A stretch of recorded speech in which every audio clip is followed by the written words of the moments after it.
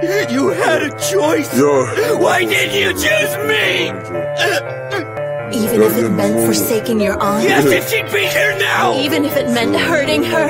If it had to be done. Even if it meant killing her. Whatever it takes. The boss if it up your.